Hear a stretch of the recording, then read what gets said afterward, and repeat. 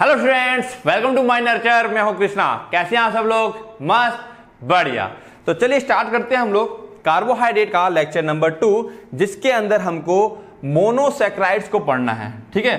और मोनोसेक्राइड्स में भी मोनोसेक्राइड्स में भी खास क्या चीज़ देखनी है? स्ट्रक्चर के बारे में स्टडी करनी है. कैसे होते हैं स्ट्रक्चर ठीक है ना? क्या स्ट्रक्चर में कुछ खास चीज़ें हैं? ठीक है? तो वो सब बातें हम समझेंगे और तीन स्ट्रक्चर हमें डिस्कस करने हैं ग्लूकोज फ्रक्टोज और गैलेक्टोज यही तीनों अपने कोर्स में है। बात समझ में आ गई? ठीक है ना? तो थोड़ा बहुत बेसिक डेफिनेशन मोनोसाइक्राइड्स क्या वगैरह होता है ग्लूकोज के बारे में और मेन कहाँ फोकस रहेगा? स्ट्रक्चर स्ट्रक्चर बोला है तो यहाँ पर तुम लोगों को स्ट्रक्चर बना बना के प्रैक्टिस करनी पड़ेगी। समझाऊँगा, बहुत सिंपल तरीका है। ठीक है? तो चलो स्टार्ट करते हैं हम लोग। मोनोसाइक्राइड स्ट्रक्चर को लेकर के बात शुरू करते हैं अपनी। तो क्या कह रहा है ये? ग्लूकोज ये कह रहा है glucose is a type of type of carbohydrate glucose क्या है? एक कार्बोहाइड्रेट का टाइप है कार्बोहाइड्रेट मॉलिक्यूल का विच इज़ सिंपल सुगर सबसे सिंपल हम लोग ये डिस्कस कर चुके हैं glucose is the simplest sugar है ना? बेसिक फॉर्मूला ग्लूकोज का याद हो गया होगा? क्या होता है? C six H twelve O six हुआ कि नहीं हुआ? अरे बोलो। हाँ सुन गया आप। ठीक है, देखो मैं फिर कह रहा हूँ लेक्चर देख रहे हो। और हाँ अभी भी कुछ लोगों को दिक्कत है। भाई नोट्स मेरे, अगर ये लेक्चर देख लिया है, मेरे जितने भी लेक्चर हैं, सब में नोट्स मिलेंगे। डिस्क्रिप्शन में बाकायदा लिंक दिया होता है। नोट्स आप ही लोगों के लिए बनाए हैं मैंने। बहुत मेहनत लगती है नोट्स में, ठीक है ना? तो आप ही लोगों के लिए उसका पूरा फ़ायदा उठाएँ। ठीक है, आगे आते हैं। Simple sugar with structural formula C six H twelve O six ठीक है तो देखो जा रहा है, यहाँ पर छोटा सा स्ट्रक्चर दे रखा है, उसके बारे में बात कर लें, यही स्ट्रक्चर है किसका ग्लूकोज का ये कार्बन होता है हमारे पास। कार्बन नंबर वन ये दिख रहा है कलर नहीं दिख रहा, मैं मार्किंग कर दूँ। अब बिल्कुल देखो, ये वन हो गया two three four five and six तो क्या करना है तुमको यहाँ पर? पता है ना? तो बिल्कुल तुमको यहाँ पर क्या करना है? एज इट इज़ बिल्कुल थोड़ी देर के लिए पॉज कर लो स्ट्रक्चर थोड़ी देर गौर से देखो कि छह कार्बन लगा लेने हैं, ठीक है? नीचे से एक, दो, तीन, फिर एक छोड़ के एक ओ एच एक ओ एच इधर। बिल्कुल प्रैक्टिस थोड़ी सी अभी दिमाग में इसको सेट कर लेना है। दिमाग में इसको क्या करना है? सेट कर लेना जिससे कि आगे ये चीज़ें समझने में और भी ज़्यादा आसान हो जाए। बात समझ में आ रही है? क्लियर है? तो चले नेक्स्ट पॉइंट की तरफ़। क्या बोलता है हमारा next point it is made up of six carbon atom ये छह कार्बन एटम का बना हुआ है। दिख गया हमको। One two three four five six छह इसके अंदर कार्बन एटम्स हैं। एंड एन एल्डिहाइड ग्रुप ये रहा देखो सी एच ओ एल्डिहाइड क्या होता है? एल्डिहाइड क्या होता है? सी एच ओ ग्रुप होता है। एल्डिहाइड क्या होता है? सी एच ओ ग्रुप होता है। तो ये एक ग्रुप यहाँ लगा होता है तुम्हारे पास। दिख गया होगा? एल्डिहाइड ग्रुप ठीक है। Therefore it is mentioned as an aldohexose ठीक है? एल्ड ग्रुप देखो एल्ड का मतलब क्या हो गया? एल्ड का मतलब हो गया तुम्हारा एल्डिहाइड ठीक है? अब बात को समझना। एल्डो हैक्सोस ठीक है ना? ये एल्ड क्या दिखा रहा है? कि ग्रुप क्या लगा हुआ है? एल्डिहाइड लगा हुआ है। हैक्स क्या दिखा रहा है? कि यहाँ पर छह कार्बन है। और ओस क्या रिप्रेजेंट करता है? ओस यहाँ पर क्या रिप्रेजेंट करता है? सुगर रिप्रेजेंट करता है। ये बात समझ में आ रही है तुम लोगों को? ओके। तो एल्डो हैक्सोस क्लियर हुआ? है ना? ये बात क्लियर हो गई। आगे आते हैं। अब क्या कह रहा है ये? The natural form of glucose, that is D glucose, is also known as dextrose. अब ये डी क्या चीज़ है? डी को समझेंगे डिटेल में। ये भी इसका स्ट्रक्चर में, नेमिंग में लिखा जाता है। डी ग्लूकोज का क्या मतलब है? एल ग्लूकोज का क्या मतलब है? ये सब समझेंगे हम लोग। ठीक है? तो फ़िलहाल ये ध्यान रखना, जो नेचुरल फॉर्म ऑफ़ ग्लूकोज है, ग्लूकोज की जो नेचुरल फॉर्म है है ना? कुदरती तौर पे जो ग्लूकोज पाई जाती है, उसको हम लोग क्या कहते हैं? डी ग्लूकोज कहते हैं। क्लियर है बात ये? आगे आते हैं।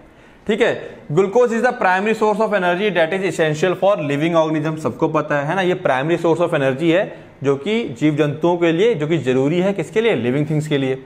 अच्छा ये स्ट्रक्चर क्लियर कर लेना, छह कार्बन दिमाग एकदम सेट कर लेना, रोक करके, छह कार्बन ठीक है? अच्छा इसको करोगे कैसे? देखो, मैं बताऊँ। सबसे पहले ऐसे कर लो। एक, दो तीन चार पाँच और छ क्लियर है? सबसे ऊपर क्या लगा हुआ है? एल्डिहाइड। ठीक है यानी कि ओ लग गया यहाँ पर एच लगा दो। अब लास्ट में चले जाओ। क्या है लगा हुआ C H two O H direct अब उसके बाद केवल काउंट कर लो। ठीक है? एक दो फिर एक दो।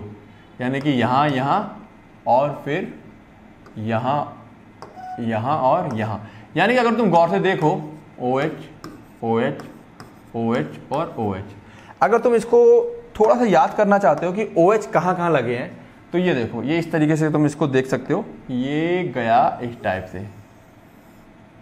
ठीक है? क्या बना ये? एस टाइप का समझ में आ रहा होगा ये। तो याद करने का तरीका है ये। क्लियर है? अब इसको और समझेंगे डिटेल में। बिल्कुल भी परेशान नहीं होना। आओ, आगे चलते हैं। बात करते हैं इसकी आगे क्या बोल रहा है ये। प्लांट्स एंड आलगी आलगी मेरे ख्याल से क्लियर है सब लोगों को क्या होता है? है ना, काई जो होती है अपनी। Plants and algae produce glucose during the process of photosynthesis. Glucose कब बनता है प्लांट्स और एल्गी में? फोटोसिंथेसिस के दौरान। विद द हेल्प ऑफ़ क्या क्या लेते हैं वो लोग? वाटर लेते हैं, फ्रॉम द सॉइल सनलाइट लेते हैं, सूरज की रोशनी और कार्बन डाइऑक्साइड लेते हैं फ्रॉम एटमॉस्फेयर। पढ़ चुके हैं इसको हम, डिस्कस कर चुके हैं? Okay. Glucose is naturally found in fruit. कुदरती तौर पे ग्लूकोज कहाँ कहाँ पाया जाता है? फ्रूट्स में, फलों में, शहद में इन एनिमल्स की बात करें, अगर glucose is form by the process of glycogenolysis जो ग्लाइकोजन होता है। एनिमल में कब बनता है? एक तो हम बाहर से खाते हैं, वो एक अलग बात हो गई। लेकिन हमारी बॉडी में क्या चीज़ मौजूद स्टोर हो जाती है? ग्लाइकोजन याद है? हम लोग जो चपाती खा रहे हैं कार्बोहाइड्रेट वो किस फॉर्म में स्टोर हो जाती है? ग्लाइकोजन की फॉर्म में। और ये ग्लाइकोजन समय समय पड़ने पर किसमें टूटता रहेगा? ग्लूकोज में टूटता रहेगा जब जब हमें एनर्जी की ज़रूरत रहेगी। क्लियर है? आगे आते हैं। Chemical formula of glucose galactose and fructose is same इसको ध्यान रखेंगे। कहा आएगा ये? तीनों का फॉर्मूला सेम है। और फॉर्मूला सेम है तो कहाँ दिक्कत आएगी? इसका स्ट्रक्चर अलग अलग होता है। समझेंगे उसे डिटेल में। फ़िलहाल इसको मार्क कर लेंगे। Glucose is a monomer monomer बता चुका हूँ। Of many of the larger carbohydrate namely starch and cellulose monomer मतलब क्या होता है? मैंने एक बार शायद पहले बता चुका हूँ इसको। मोनोमर क्या होते हैं? वट आर मोनोमर है ना? मोनोमर क्या होते हैं? जैसे मैं बोल दूँ कि मेरे पास ये कुछ क्या है? छल्ले हैं, रिंग है। और इन छल्लों को मैं प्रोसेस करके मशीन की हेल्प से क्या कर दिया? एक के अंदर एक डाल दिया। अब ये क्या बन गई? चेन बन गई। तो मोनोमर जब आपस में जुड़ जाते हैं तो क्या बन जाते हैं? पॉलीमर तो मोनोमर जुड़ने के बाद जो बड़ा रूप बनता है, वो क्या होता है? पॉलीमर होता है।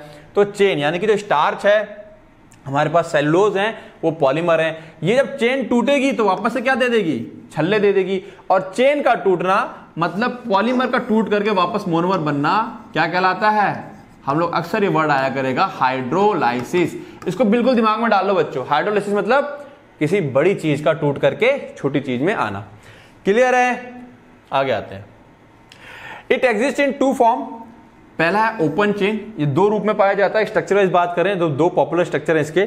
ओपन चेन जिसको हम ए साइक्लिक फॉर्म भी कहते हैं, और दूसरा है रिंग और साइक्लिक फॉर्म अब ये दो रूप इसके कहाँ से आए? कहाँ से समझ में आया कि दो रूप इसके होते हैं? तो देखो, हम लोग चाहें तो डायरेक्ट इसके दो रूप के बारे में बात कर सकते हैं। लेकिन मुद्दा यह है कि आखिरकार ग्लूकोज का स्ट्रक्चर ओपन से साइक्लिक कैसे हो गया? कहाँ से हमको दिमाग में आया कि इसका स्ट्रक्चर ऐसा है? तो देखो, क्या हुआ? शुरुआत करते हैं open chain structure of glucose की। कैसे समझ में आया कि ये ओपन चेन स्ट्रक्चर है? थोड़ा सा इसका स्टार्टिंग लेते हैं हम लोग। It was assigned the structure given below on the basis of the following evidences ठीक है, जो हम लोग इसका ओपन चेन और रिंग चेन की बात करते हैं ना, वो आई कहाँ से? तो सबसे पहले शुरुआत में हमको पाया गया, क्या मिला कि C6H12O6 जो ग्लूकोज का फॉर्मूला है सॉरी, जो ग्लूकोज होता है, उसके अंदर छह कार्बन होते हैं, ये बात हमको समझ में आई सबसे पहले। है ना, शुरुआत में मिला कि अच्छा इसके अंदर छह कार्बन है। चलो, अच्छी बात है। अब, उन, हमने क्या किया, जो ग्लूकोज था, क्या था हमारे पास? ग्लूकोज। ये तो लिख दिया हम लोगों को, हमको ऐसे पता नहीं है, लेकिन हाँ।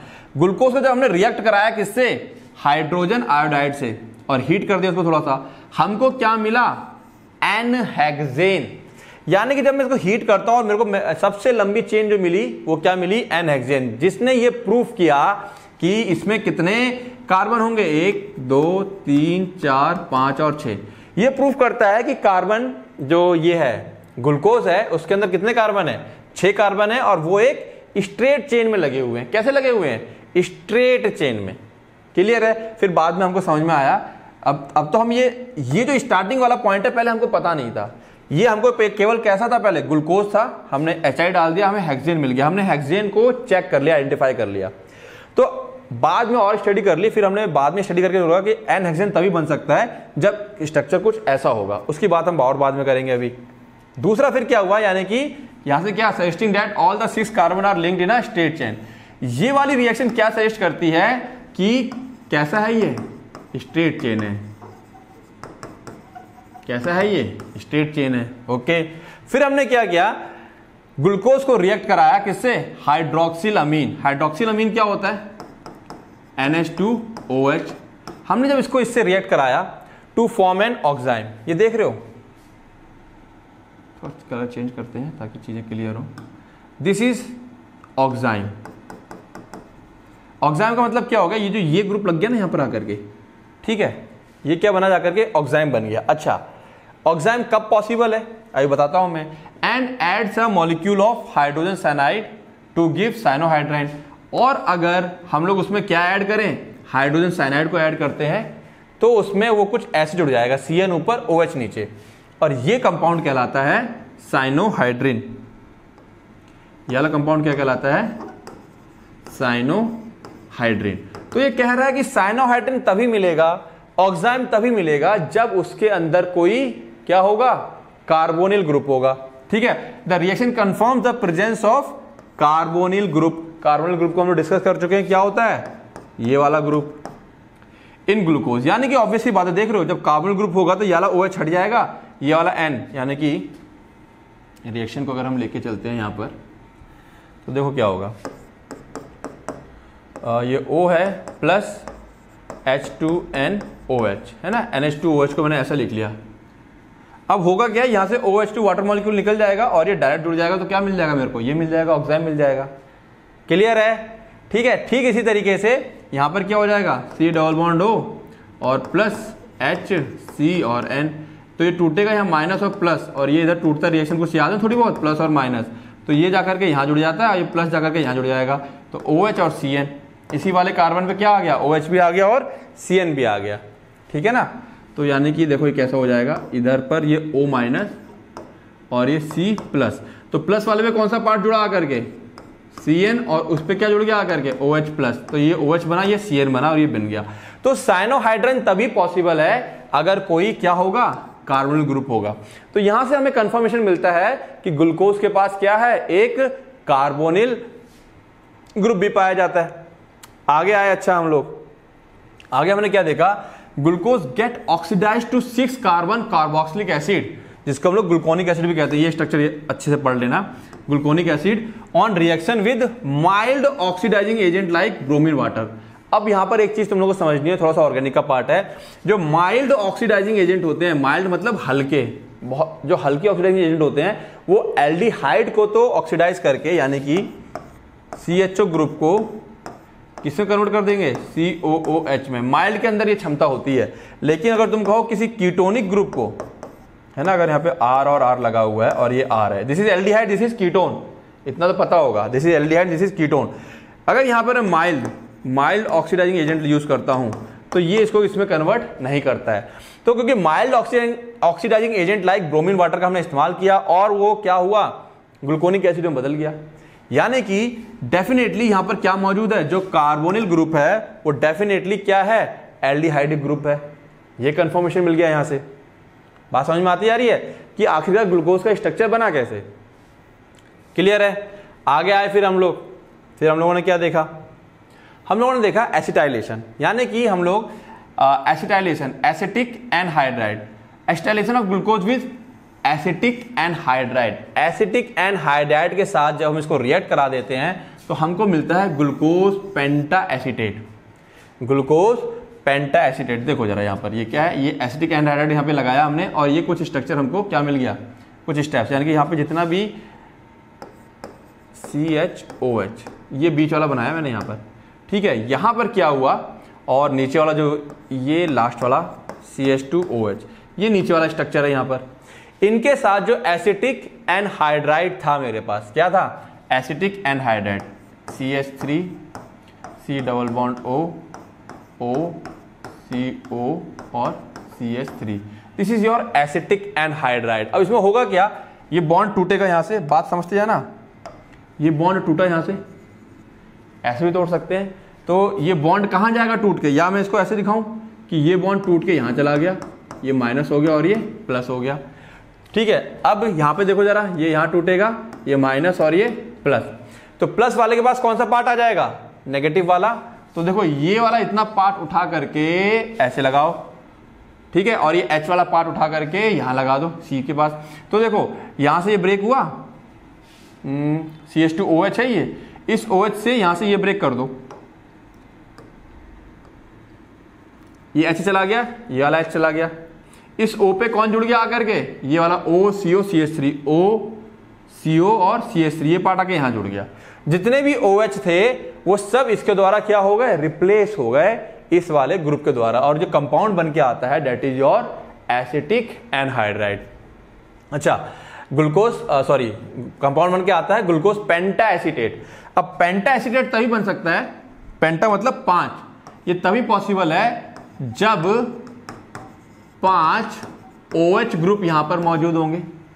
पाँच ओ OH ग्रुप तो यहाँ से हमको क्या कंफर्मेशन मिलता है? Since it exist as a stable compound five O OH group should be attach to different carbon atom तो यहाँ से हमको यह कंफर्मेशन मिलता है कि पाँच ओ OH ग्रुप अब देखो यहाँ से एक बात याद हो जाएगी। इधर, कि अलग अलग सी एटम पर पाँच जो ओ OH लगे हैं, किसी एक पे दो है ही नहीं।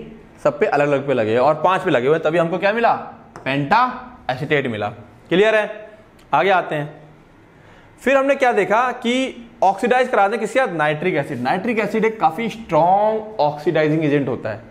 स्ट्रॉन्ग ऑक्सीडाइजिंग एजेंट का काम क्या होगा? जितने भी सी एच ओ ग्रुप होंगे, उन सबको कन्वर्ट कर देगा उस किसमें उन सबको कन्वर्ट कर देता है सी ओ ओ एच में.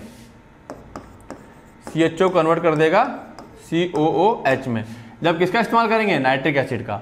तो देखो जरा, अगर मेरे पास क्या है? ये ग्लूकोज है. दिस इज़ ग्लूकोज ये मेरे पास क्या है? ग्लूकोज है। ये ऑक्सीडाइजेशन कराया। ये वाला ऊपर वाला सी एच ओ किसमें बदल गया ये? कार्बोक्सिलिक एसिड में। और जरा लास्ट वाला देखो, ये क्योंकि ये स्ट्रांग है तो इस, इसके साथ साथ जो टर्मिनल ओ OH है C O H this is your terminal terminal का मतलब लास्ट किनारे वाला। टर्मिनल का मतलब लास्ट या किनारे वाला। किनारे वाला जो ओ OH ग्रुप होगा स्ट्रॉन्ग नाइट्रिक एसिड उसको भी क्या कर देता है? ऑक्सीडाइज करके किसमें कन्वर्ट कर देता है? सी ओ ओ एच में। तो यहाँ से मेरे को क्या मिलता है? सैक्रिक एसिड अब देख लो जरा सैक्रिक एसिड का फॉर्मूला क्या है? सिंपल है ना? सी एच ओ एच तो सैक्रिक एसिड का फॉर्मूला क्या बना यहाँ पर? सी ओ ओ एच और बीच में कितने? एक, दो, तीन, चार। और पाँच। और लास्ट में एक छ। यहाँ पर क्या है? ओ ओ एच ये क्या ओ ओ एच और बीच में कितने हैं? चार ये हैं, लगा देंगे यहाँ पर O H O H O H और ओ एच तो ये एक साथ दिखा दिया ब्रैकेट में बंद करके। है ना? जो चार सी हैं, एक जैसे ही हैं तो उनको एक साथ दिखा सकते हैं हम लोग। है ना? जैसे तुम लोग को पता होगा, मान लो हम ऐसा लिख रहे हैं C S three C S two C S two C S two और सी एस थ्री तो ये सारे एक जैसे हैं। तो हम यहाँ पर क्या लिख सकते हैं? C S three C S two तीन और सी एच थ्री है ना? तो अगर सारे के सारे एक जैसे होते हैं तो हम उसको इस तरह से लिख सकते हैं। तो ये ग्लूकोनिक एसिड अच्छा जो पीछे बना था हमारे पास ग्लूकोनिक एसिड याद है? किससे बना था? ब्रोमिन वाले से। किससे बना था? ब्रोमिन वाले से क्या बना था? ग्लूकोनिक एसिड अब इसमें भी क्या है? टर्मिनल ओ OH है। इस टर्मिनल ओ OH को ऑक्सीडाइज करने के लिए स्ट्रॉन्ग ऑक्सीडाइजिंग एजेंट चाहिए चाहिए होता है। और ये नाइट्रिक एसिड क्या है? Strong oxidising agent gluconic acid को भी इसने किसमें बदल दिया? सैक्रिक एसिड में। ग्लूकोनिक एसिड को भी किसमें बदला? सैक्रिक एसिड में। अब क्या क्या चीज़ें क्लियर हो गई? एक बार फिर से फटाफट रिवाइज करते हैं। देखो यहाँ पे हमको क्या क्या चीज़ समझ में आई कि इसका जो सी लगे हुए हैं सारे सारे स्टेट लगे हुए हैं। दूसरा, इसके अंदर एक कार्बोनिल ग्रुप है। कार्बोनिल ग्रुप ही एल्डिहाइडिक ग्रुप है। ये भी क्लियर हुआ यहाँ से। अब इसके अंदर पाँच क्या लगे हुए हैं? ओ OH ग्रुप लगे हुए हैं। ठीक है? और यहाँ पर क्या है? Presence of primary alcoholic group जो लास्ट ये टर्मिनल ओ OH ग्रुप लगा हुआ है, इसको हम लोग क्या बोलते हैं? प्राइमरी बोलते हैं। प्राइमरी अल्कोहलिक ग्रुप भी इसके अंदर मौजूद है। अब उसके बाद क्या हुआ? बहुत सारी स्टडी हुई, बहुत सारे स्ट्रक्चर बनाने की कोशिश की गई और the exact spatial arrangement of different OH group अब इसमें दिक्कत क्या आती है? देखो मैं आप लोगों को समझाऊं मैं। यहाँ पर कोई चीज़ नहीं है। जैसे कि मान लो एक सी कार्बन है थ्री में बात करें अगर। जैसे कि मैं तुमसे बोलूँ कि एक पेन ये है। पेन पेन पेन यहाँ पर कोई पेन नहीं है। एक मिनट रुको जरा। मैं देखूँ कुछ मिल जाए तो। हम्म, चलो कुछ नहीं है यहाँ पर। बात कर लेते हैं मैं। ठीक है? अब मान लो यहाँ पर ये एक पेन है मेरे पास। ठीक है? तो ये सेंटर पे सी लगा हुआ है। ऐसे मान लो ये सेंटर पे सी लगा हुआ है। एक एच इधर लगा हुआ है एक ओ OH इधर लगा हुआ है एक ओ OH इधर लगा हुआ है और ये एक मान लो चार है ना? एक कार्बन की वैलेंसी कितनी होती है? चार। ठीक है? तो अब ये जो एच लगे हुए हैं भैया, अगर तुम लोग थोड़ा सा ऑर्गेनिक पढ़ रखिए सारे एच ऐसे थोड़ा ना होते हैं। ये एक दूसरे से मैक्सिमम दूरी पर होते हैं। ऐसे थ्री में देखेंगे अगर तो एक यहाँ लगा हुआ है, एक इधर गया हुआ है, एक इधर गया हुआ है, एक मेरी तरफ़ है। तो स्पेस इसको कहते हैं स्पेस स्पेस का मतलब थ्री स्ट्रक्चर स्पेस का मतलब स्पेस का मतलब थ्री स्ट्रक्चर अगर स्पेस में इसको देखें, इसका थ्री स्ट्रक्चर देखें जो कि बहुत मायने रखता है। ये कार्बन है, इस वाली उंगली से अंगूठा मेरा यहाँ है। अब हो सकता है ये अंगूठा यहाँ होता तो इसकी सारी प्रॉपर्टी ही बदल जाती, है ना? सोच के देखो, यार अंगूठा मेरा यहाँ बीच वाली उंगली पे होता और बीच वाली उंगली यहाँ होती, मेरे हाथ का काम करने का तरीके बदल जाते। तो ये बहुत इंपॉर्टेंट है कि एक दूसरे, मान लो पेन मेरा यहाँ लगा हुआ है अभी अंगूठे से बगल में है, मान लो ये बीच वाली उंगली यहाँ होती, पेन मेरा यहाँ होता। तो जब ये दो एटम एक दूसरे से, मान लो ये ओ OH ग्रुप है, ये एच ग्रुप है तो जब ये इनका दूरी, इनका अरेंजमेंट अगर बदल जाए तो इनकी पूरी प्रॉपर्टी चेंज हो जाती है। अब यही लिखा हुआ है the exact spatial arrangement spatial word बना है तुम्हारा स्पेस से। स्पेशियल अरेंजमेंट कि कौन सा एटम किस तरफ़ निकला हुआ प्रोजेक्ट हो रखा है। ठीक है of different OH group was given by Fischer सबसे पहले फिशर ने इसको एग्जैक्टली exactly समझा और बताया कि कौन सा ओएच कहाँ लगा हुआ है। स्टडिंग मैनी अदर प्रॉपर्टी और उसकी कई सारी प्रॉपर्टी उसने पढ़ी। तो यहाँ से बच्चों अब तुम लोग सोच रहे सर, ये तो इससे पहले क्या था? भाई, फिशर ने दिया कहाँ से स्ट्रक्चर स्ट्रक्चर की शुरुआत कहाँ से हुई है? ठीक है ना? तो डायरेक्ट फिशर पढ़ने से पहले ये स्टार्टिंग में थोड़ा ज़रूर पढ़ लेना, एक आइडिया लगता है, ठीक है ना? और जैसे मैंने पहले ही बता चुका हूँ क्योंकि हमको केवल फार्मेसी के हिसाब से नहीं, हमें एग्जिट एग्ज़ाम के बारे में थोड़ा सा सोचना है। क्योंकि स्ट्रक्चर लिख के दे दिया उन्होंने केवल कोर्स में, अब क्या है स्ट्रक्चर में, क्या पढ़ना है, क्या नहीं पढ़ना है, ऐसा कुछ उन्होंने मैंशन नहीं किया तो फ़िलहाल दो टाइप के स्ट्रक्चर इसमें पहला क्या है? फिशर वाला, जिसको हम ओपन चेन स्ट्रक्चर भी कहते हैं। क्या कहते हैं? फिशर स्ट्रक्चर और ओपन चेन स्ट्रक्चर अब यहाँ से फिशर ने ओपन चेन स्ट्रक्चर दिया तीन, ठीक है? ये पहला दिया ग्लूकोज का, ठीक है ना? दूसरा दिया ग्लूकोनिक एसिड का, और तीसरा दिया सैक्रिक एसिड का। तो अब तुमको सर, इसमें ऐसा खास क्या है? तो बच्चों, इसमें खास तुमको क्या याद रखना है? स्ट्रक्चर बनाने की प्रैक्टिस करनी है। देखो जरा, फिर, ये पहला कार्बन ये दूसरा कार्बन ये तीसरा, ये चौथा, ये पांचवा, ठीक है ना? अब यहाँ पर क्या याद रखोगे? जैसे मैं पहले ही बोल चुका हूँ कि ओ OH देख लो कहाँ पे क्या है। ओ OH चेंज हो गया ये। ओ OH ऐसे करके कलर चेंज कर लें। ओ OH ऐसे, फिर ऐसे और ऐसे करके। ठीक है ना? ग्लूकोज का स्ट्रक्चर बिल्कुल ध्यान रखना। ठीक है ना? नीचे से तीन ओ OH एक साथ हैं। ये देख लो एक तरफ़? अभी इसमें भी एक खेल आएगा। देखेंगे, समझेंगे। अब देखो बस केवल क्या है? ग्लूकोनिक में एक सी ओ एच ऊपर है, नीचे कुछ नीचे जो है सैक्रिक में, दोनों के दोनों क्या है? ऊपर नीचे सी ओ एच है। नीचे के बाद की ओ एच के स्ट्रक्चर में कोई चेंज नहीं है। तो ये जो ओपन चेन चेन खुली हुई है स्टेट चेन है। अगर मैं इसको ऐसे बना दूँ स्टेट में लिखना लिखना की कोशिश करूँ मैं तो देखो कैसा आ जाएगा ये। तो देखो जरा कैसा हो जाएगा ये। यहाँ से लिखता हूँ मैं। C H two C H two C H two अच्छा बड़ा हो गया। छोटा कर लेते हैं इसको थोड़ा सा। देखो ज़रा क्या हो जाएगा। C H two C H two दो, तीन, चार, पाँच, और एक लगा दो क्या?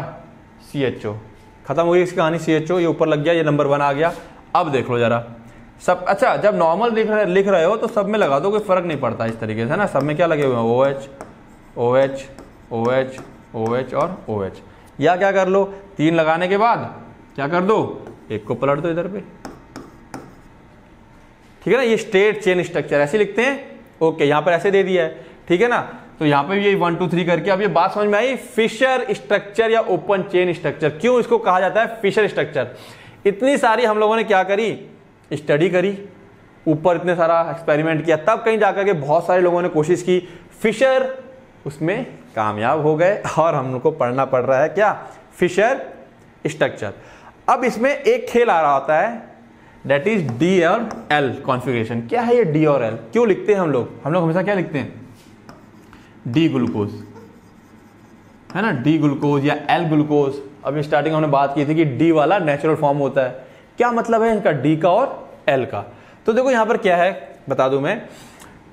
डी एंड एल कॉन्फ़िगरेशन क्या होता है? Glucose is correctly named as D plus glucose exact नाम लिखोगे अगर ग्लूकोज का तो डी प्लस ग्लूकोज ये इसकी सारी प्रॉपर्टी बताता है। क्या क्या प्रॉपर्टी बताता है? आओ देखें। D before the name of glucose represents the configuration उसका कॉन्फ़िगरेशन अच्छा कॉन्फ़िगरेशन बता रहा है। कॉन्फ़िगरेशन का मतलब जैसे कि मैं यहाँ पर हूँ, ठीक है? ये मेरे दो हाथ, एक इधर है, एक इधर है। और दो टांगे इधर इधर है। अगर एक हाथ मेरा यहाँ हो और एक हाथ ऐसे आगे लगा हो तो मेरा कॉन्फ़िगरेशन बदल गया। या फिर यूँ कह लें कि एक हाथ यहाँ, एक हाथ यहाँ, एक हाथ मान लो, यहाँ से भी निकला हुआ है। तो मेरे हाथ किस तरीके से अरेंज हो रखे हैं मेरी बॉडी में? बात समझ में आ रही है? ये जो अरेंजमेंट है डेट इज़ कॉल्ड कॉन्फ़िगरेशन तो कॉन्फ़िगरेशन की चाहो तो हिंदी लिख लेना। जो अरेंजमेंट होता है थ्री अरेंजमेंट कैसा अरेंजमेंट थ्री अरेंजमेंट जो होता है, कौन कहाँ पे लगा हुआ है, उसको हम लोग क्या कहते हैं? कॉन्फ़िगरेशन कहते हैं, ठीक है?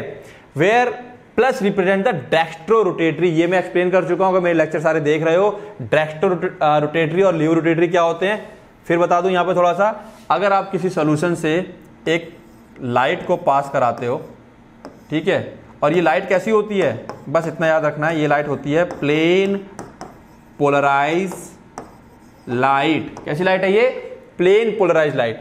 ठीक है, अब ये खास तरह की लाइट होती है एक। ठीक है, इसको हम लोग निकॉल पेन लगा के उसमें उसमें जाने की ज़रूरत नहीं, सीधा ध्यान रखना, प्लेन पोलराइज लाइट होती है। ठीक है तो ये लाइट क्या करती है, या तो निकलने के बाद लेफ़्ट रोटेट हो जाएगी या राइट रोटेट हो जाएगी।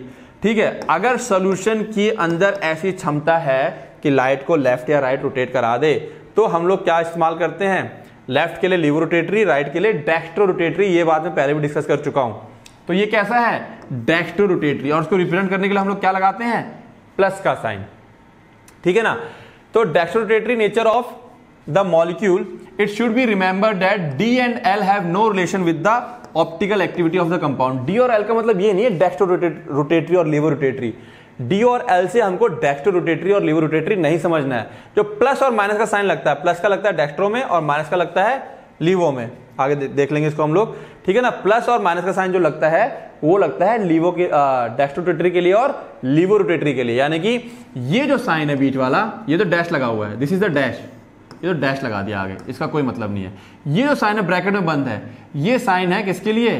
डेक्स्ट्रो रोटेटरी के लिए। डेक्स्ट्रो रोटेटरी यानी कि ये जो है मेरे पास ग्लूकोज, ये लाइट को राइट में रोटेट करवा देगा। आगे आते हैं अब। The meaning of D and L notation is as follow अब फिर डी और एल का मतलब क्या है? डी और एल का मतलब क्या है? देखो, मैं यहाँ समझाता हूँ तुम लोगों को। हम लोग करते क्या है? समझ लें, फिर पढ़ना आसान हो जाएगा। हम लोग यहाँ पे करते क्या है? हमारे पास एक ऑप्टिकली एक्टिव कंपाउंड होता है। ऑप्टिकली एक्टिव ऑप्टिकली एक्टिव मतलब जो प्लेन पोलराइज लाइट को रोटेट करा दे, उसे कहते हैं ऑप्टिकली एक्टिव कंपाउंड ग्लिसरल्डिहाइड इससे हम लोग कंपेयर कराते हैं। ठीक है ना?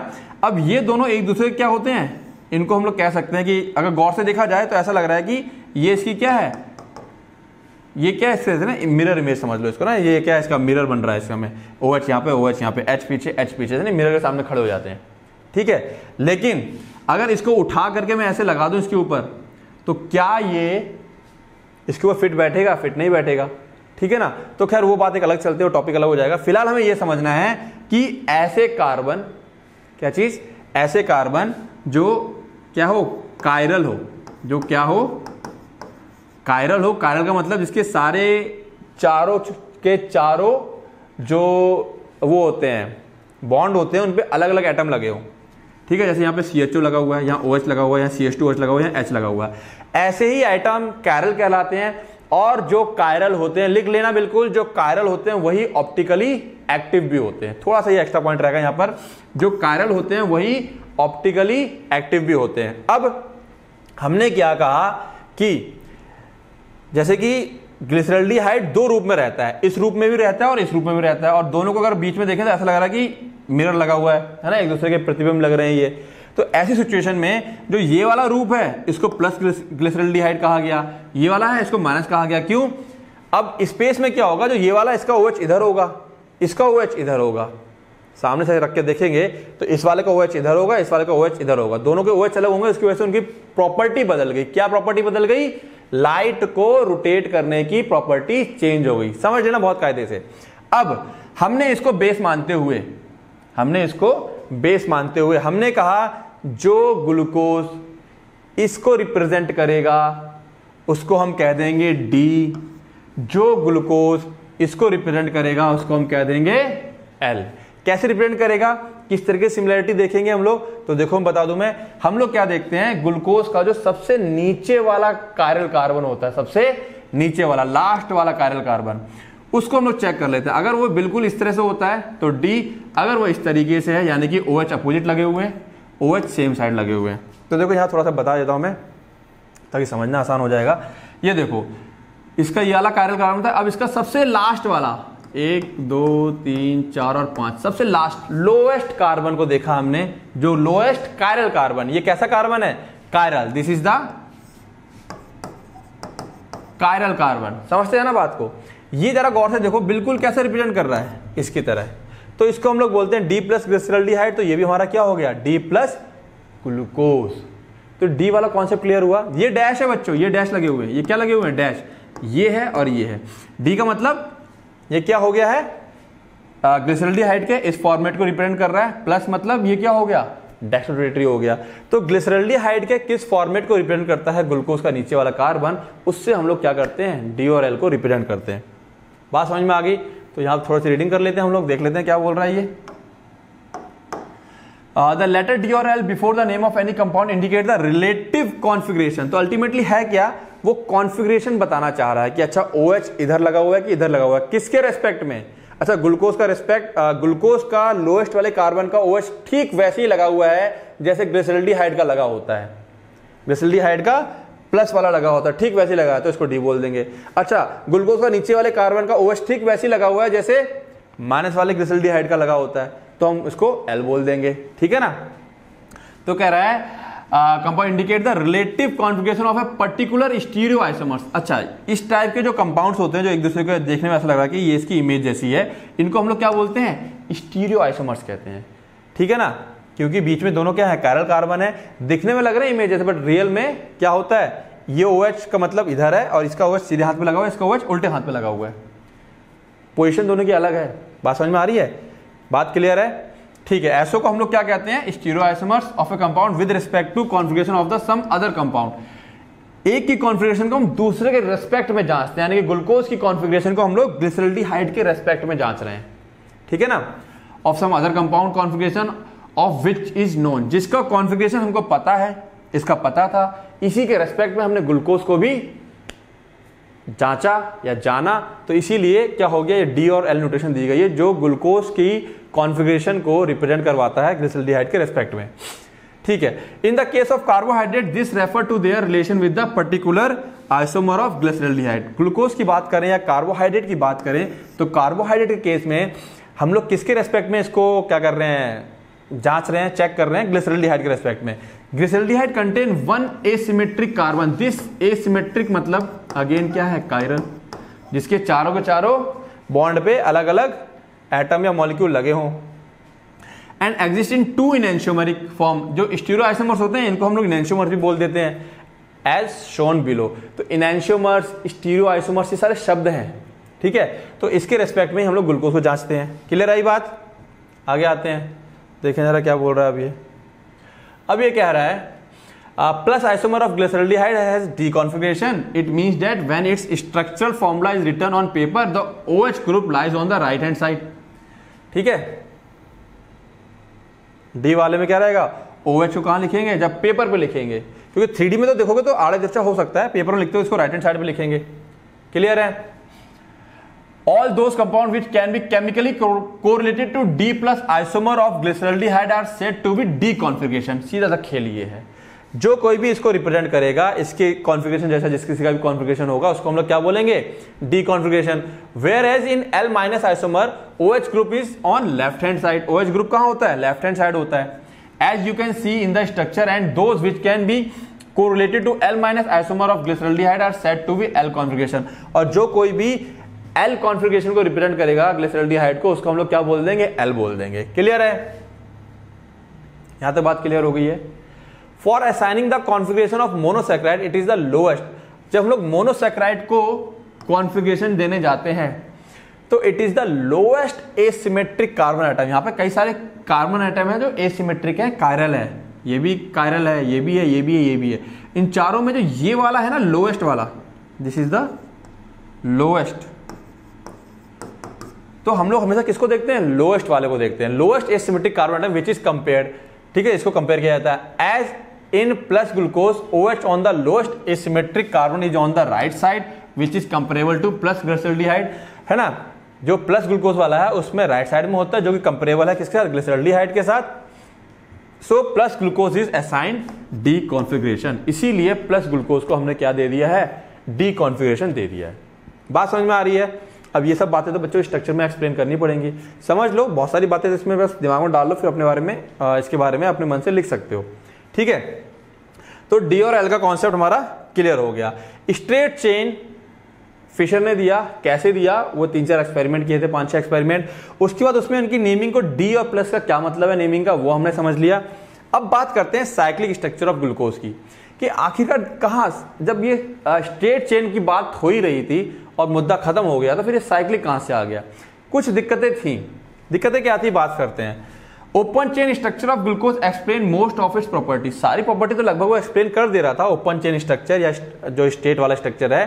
But the following reaction and fact could not be explain by this structure जो नीचे कुछ बातें करने जा रहे हैं, वो स्ट्रेट चेन के स्ट्रक्चर एक्सप्लेन नहीं कर पा रहे थे। क्या था पहला? अब देखो। Despite having the aldehyde group glucose does not give Schiff test अब स्किफ टेस्ट क्या होता है, हमें दिमाग से निकाल दो। केवल ये समझो कि जो जहाँ कहीं एल्डिहाइड ग्रुप होगा, अगर कहीं पर एल्डिहाइड है तो वो स्किफ टेस्ट देगा ही देगा। बट ग्लूकोज नहीं दे रहा था। खेल हो गया यहाँ पर। ठीक है? And it does not form the hydrogen sulphide addition product with NHSO3 अगर कहीं पे एल्डिहाइड है तो इसके साथ जैसे एल्डिहाइड है ना ये, इसको अगर मैं खोल दूँ O और एच और किससे रिएक्ट करा दूँ मैं? सोडियम हाइड्रोजन सल्फाइड थ्री से, है ना? तो यहाँ पर होगा क्या? ये ब्रेक करेगा। प्लस और माइनस ठीक है ना? तो ये इधर ये टूटेगा, ये माइनस और ये प्लस ये प्लस इधर चला जाता है और ये वाला माइनस इधर आ जाएगा। सॉरी ये वाला माइनस इधर आ जाएगा। ये रहा माइनस प्लस सॉरी ठीक है ना? तो सोडियम हाइड्रोजन सल्फाइड ऐड हो जाता है एल्डिहाइड में। इसमें ना हो रहा था। ना। ठीक है? तो अब चक्कर में पड़ गया कि यार इसमें एल्डिहाइड है, फिर ये दोनों टेस्ट देख नहीं रहा? चलो, एक क्वेश्चन उठ गया। फिर कह रहा है कि अगर ये पेंटा एसिटेट है the penta acetate of glucose does not react with hydroxylamine indicating the absence of CHO group अब जो पेंटा एसिटेट था, अगर तुम लोगों को याद हो, ठीक है? पेंटा एसिटेट ठीक है? हमारे पास जो पेंटा एसिटेट था, ये वाला। यहाँ पर ये सी एच ऊपर खाली पड़ा हुआ है ना? पड़ा हुआ है। जब सी एच मौजूद है भाई तो अभी अभी हम लोग पढ़ रहे हैं कि अगर सी एच मौजूद है तो क्या होना चाहिए? हाइड्रोक्सिल अमीन से रिएक्ट करना चाहिए। हाइड्रोक्सिल अमीन क्या है? N H two O H अभी अभी हमने पीछे रिएक्ट कराया था H2 निकल गया था, याद आ गया। तो वो नहीं कर रहा था। फिर एक समस्या खड़ी होगी कि यार पेंटासिटेट में रिएक्ट नहीं कर रहा, वैसे रिएक्ट कर जा रहा है ये। अब ये क्या बात होगी डबल कंडीशन क्रिएट होगी यहाँ पर। एक बार रिएक्ट कर रहा है एक बार रिएक्ट नहीं कर रहा। फिर एक और समस्या, फिर और रिसर्च होती चलेगी आगे। Alpha and beta form glucose के दो आइसोमर और मिल गए। Alpha beta it is found at glucose exist in two different crystalline form दो अलग फॉर्म में एग्जिस्ट करता है which are named as alpha and beta जिसको हम लोग अल्फ़ा बीटा भी कहते हैं। The alpha form of glucose melting point चार सौ उन्नीस होता है, जो obtain by crystallization from concentrated solution of glucose at 303 अगर ग्लूकोज का कंसेंट्रेटेड सोल्यूशन हो और उसको हम लोग क्रिस्टलाइज करें 303 केल्विन पर तो हमको क्या मिलता है? Alpha while the beta form जिसका मेल्टिंग पॉइंट चार सौ तेईस केल्विन होता है is obtain by crystallization from hot and saturated aqua solution at 371 kelvin तो ये एक बार को याद नहीं भी रखो, चलेगा, वो सिर्फ़ इतना बता रहा है। अलग अलग कंडीशन पे अगर क्रिस्टलाइजेशन करते हैं अलग अलग टेम्परेचर पे तो दो अलग तरीके के ग्लूकोज मिलते हैं हमको। एक अल्फ़ा और एक बीटा अब ये एक समस्या खड़ी होगी कि ये जो ओपन चेन स्ट्रक्चर था ना, उससे तो समझ में नहीं आ रहा था, भैया अल्फ़ा बीटा कैसे हो जाएगा ये? ठीक है? This behaviour could not be explain by the open chain structure की दो अलग अलग मिल रहे हैं स्ट्रक्चर तो यही है, समझ में नहीं आ रहा कुछ भी। ठीक है, फिर बाद में ये प्रपोज किया गया it was propose that one of the O H ये सारी घटनाएँ जो ऊपर की थी, एक फिर दिमाग लगाया गया, कोई ना कोई O H may be H two C H O group वो सी एच ओ के साथ कंबाइंड करके क्या कर ले रहा है बॉन्डिंग कर ले रहा है।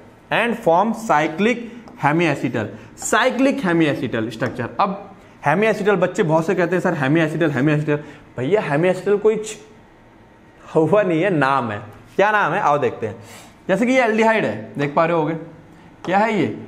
ये एल्डिहाइड है। जब आर जोड़ रहे हैं तो इसके सी पर एक ओ OH ग्रुप है और एक ओ ग्रुप है। Alcohol ether alcohol ether that is called hemiacetal और जब दोनों ओ OR हो जाते हैं तो कंप्लीट हो जाता है तो इसको हम लोग कहते हैं acetal O R O R ठीक है सेम अगर कीटोन होगा तो? कीटोन होगा तो इसको पहले हेमी कीटल कहते थे ओल्डर फॉर्म में, और इसको कीटल कहा जाता है। लेकिन अब इसको भी हेमी एसिटल इसको भी हेमी एसिटल इसको भी एसिटल इसको भी एसिटल देखो ना स्ट्रक्चर तो सेम ही है ना, दोनों को। अच्छा कीटोन से बनता था तो इसको हम लोग हेमी कीटल बोल देते थे पहले। तो केवल ये स्ट्रक्चर ये मतलब का नहीं है ये मैंने समझाने के लिए यहाँ पे डायग्राम डाला है कि हेमी एसिटल का मतलब क्या नाम है। अगर एक कार्बन पर एक ओ OH और एक ओ होगा तो उसे हेमी एसिटल बोल देते हैं। बात समझ में आई? तो अब यहाँ पर साइक्लिक हेमी एसिटल बन रहा है। क्या बन रहा है? साइक्लिक हेमी एसिटल तो आओ देखें जरा साइक्लिक हेमी एसिटल ये देखो। अब यहाँ पर तुमको बात समझ में आ रही होगी कि हुआ क्या? जो सबसे ऊपर वाला सीओचओ ग्रुप था ये ये इस वाले ओ से क्या कर जा रहा है? मर्ज कर जा रहा है। ये इस वाले ओ से क्या कर जा रहा है? मर्ज कर जा रहा है। तो हो क्या रहा है यहाँ पर? ये वाला ओ क्या हो गया? बंद गया। अब है क्या? जो स्ट्रेट चेन है, ये भी एग्जिस्ट कर रही है और ये इक्विलिब्रियम कंडीशन में इक्विलिब्रियम समझते हो ना? ये भी मौजूद है, ये भी मौजूद है और ये भी मौजूद है। इक्विलिब्रियम वाले। इक्विलिब्रियम समझते हो ना कि ये भी है और ये भी है। जितना आगे जाता है, उतना पीछे आता है। क्लियर है इक्विलिब्रियम वाली बातें? ठीक है ना? तो जैसे किसी बर्फ़ को पानी में डाल दो। तो पानी भी है, बर्फ़ भी है, दोनों चीज़ें एग्जिस्ट कर रही है एक साथ। तो स्टेट चेन भी एग्जिस्ट कर रहे हैं और ये वाले स्ट्रक्चर भी एग्जिस्ट कर रहे हैं। तो देखो यहाँ पर क्या कह रहा है। It was found that glucose form a six membered ring in which OH at C5 C5 का OH C5 का OH at C5 is involved in ring formation ये रिंग बना लेगा इसके साथ जाकर के। ये रुकेगा नहीं। मुझे तो रिंग बनानी है भाई। ठीक है स्टेबिलिटी मिलती है इसलिए इसलिए रिंग बना लेता है। This explain the absence of CHO group ring बना लिया तो सीएचओ ग्रुप कहाँ रह गया? सीएचओ ग्रुप तो खत्म हो गया। इसीलिए वो कुछ रिएक्शन नहीं दे रहा था वो। And also existence of glucose in two forms as shown below और दो रूप देता है ये किसके? ग्लूकोज के। ठीक है, दो साइक्लिक ग्रुप क्या है इसके? ये ओपन चेन है। अच्छा these two cyclic form exist in equilibrium ध्यान रखना। इक्विलिब्रियम में एग्जिस्ट करते हैं विद ओपन चेन का। तीनों एक साथ ही एग्जिस्ट करेंगे इक्विलिब्रियम में रहेंगे। अल्फ़ा डी अच्छा क्या अंतर है इसमें? देख लो यार यहाँ पर। This is alpha and this is what beta तो क्या अंतर है? देखो, यहाँ तक तो कोई दिक्कत नहीं है। नीचे का पार्ट वही चला आ रहा है। अब जरा पहले वाला कार्बन देखो। ठीक है ना? सी वन को। यहाँ पर ओ OH यहाँ है, इसका ओ OH यहाँ पर है। घूम गया। जिस कार्बन जिस कार्बन पे क्या लगा हुआ था? एल्डिहाइड ग्रुप लगा हुआ था। जिस कार्बन पर एल्डिहाइड ग्रुप लगा हुआ था, उस पर एक ओ OH ये और एक ये इस पे ओ OH इधर आ गया, इस पे एच इधर रहा। इसी वजह से इसके दो रूप बन जाते हैं, अल्फ़ा और बीटा। ठीक है ना, मैंने कहा ना, हल्का सा अगर रोटेशन चेंज हो जाए तो पूरी प्रॉपर्टी बदल जाती है। क्लियर है? तो आओ देखें जरा आप क्या इसके बारे में बातें हो रही हैं। तो फिर से ध्यान रखना one two three four five ये जाके मर्ज हुआ तो क्या बन गया ये? यहाँ पर ओ OH और ये वाला यहाँ से गायब हो जाता है फिर। क्लियर है? ठीक है? आगे देखते हैं इसको हम लोग।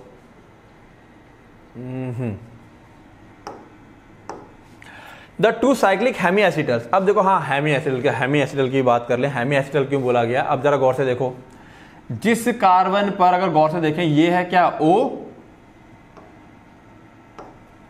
दिस इज़ ओ और ये क्या है? सी यानी कि इसको मैं कह सकता हूँ ओ और ये वाला पार्ट क्या हो गया? ये वाला सी है ना, इसको मैं आर बोल सकता हूँ। और इसी जिस कार्बन से ओ आर लगा हुआ है, उसी से क्या लगा हुआ है? ओ एच लगा हुआ है। सेम कार्बन अच्छा ये क्या पूरा साइक्लिक बना दे रहा है? तो इसलिए क्या बोल दिया गया? साइक्लिक हैमी एसिटल क्लियर है? अब बात समझ में आ गया हैमी एसिटल क्यों कहा गया इसको?